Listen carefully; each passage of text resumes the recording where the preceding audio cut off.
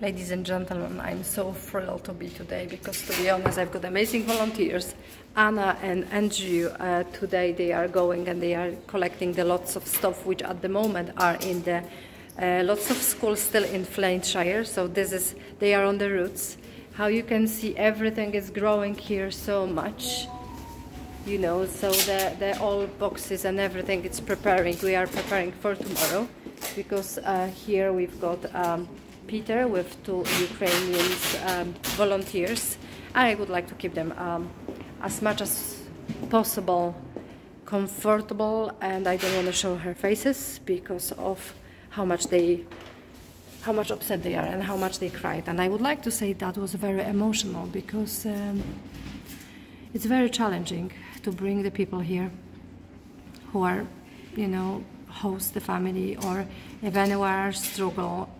And if you if you have anyone who are Ukrainians, they can come to our center, PISC, in Ingles Meadow. They can give us the hands with everything in here. I don't mind. And I'm feeling extremely, extremely sorry for everyone who lost their parents, who lost their friends, and who lost their siblings. So have a thought if you've got anything who would like to be shared on Christmas, bring something to us to the PISC, please. You. There's a black van just outside.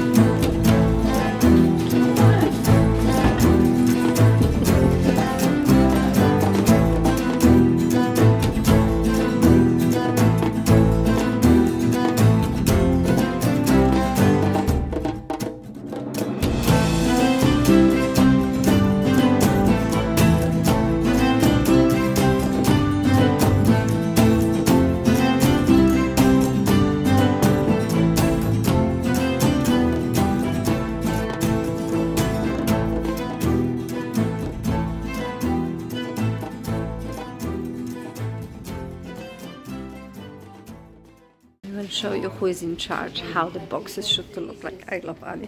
Those are the same. Okay, so Oh, you know, you, you can't move without being videoed. Oh. oh, you. Well, I'm only telling people how amazing it look like because the bottom of everything should to be perfect. So we will have amazing boxes here with towels and food and for example baby wipes and those will go on the top. Perfect. We are just perfect. This is what it is. We got big box ones. This one's nearly done. Told you. She's nice. She's nice. Lovely.